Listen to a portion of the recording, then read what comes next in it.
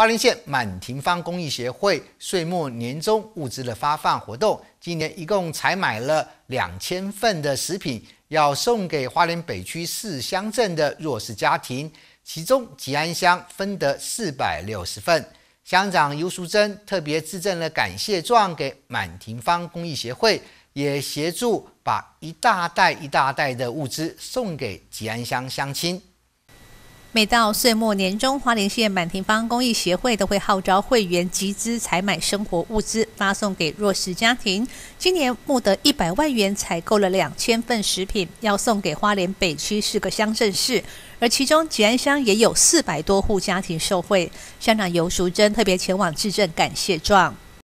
谢谢我们满庭芳公益协会长期以来。对我们地方弱势捐助，还有呢爱心的关怀以及急难救助的义助。那今天呢，呃，发放四百六十份给吉安的这样的一个关怀哦，结合跟花莲市吉安的这样的心手相连、携手共进，一起来关怀我们的弱势。身为我们满地方公益协会的一份子哦，主持也是会员，所以开启这样满满的、长久的这样的一个义助关怀。觉得是非常有意义的一一件事情，当然也要代表我们的乡亲，代表吉安乡受赠的这个家户们哦，跟我们的主办单位，跟我们善心的这些会员，致上满满的谢意。尤其在寒冬最冷的时刻里面，收到暖暖的爱，祝福我们的这个乡亲好朋友们能够圆满一年，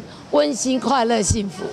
除了致赠感谢状，乡长尤淑珍也在现场协助发放物资。看到吉安乡亲到来，尤淑珍也亲切问好，同时提醒大家天气寒冷要注意保暖，并且戴好口罩，不要被病毒给传染了。尤淑珍也感谢七月社团慷慨捐助，让弱势家庭可以感受到社会的温暖与关怀。这里会欢视报道。